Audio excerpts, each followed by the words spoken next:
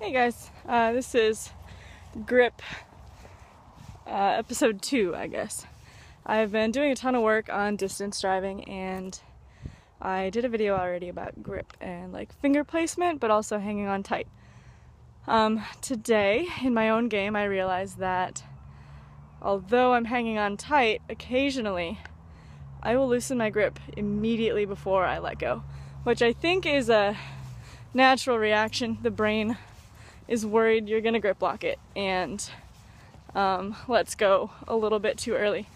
Um, I just adjusted that and made sure I was thinking about hanging onto my disc just a little bit longer and makes a huge difference. So I would definitely suggest uh, slowing down your throw and focusing on grip strength and gripping tight.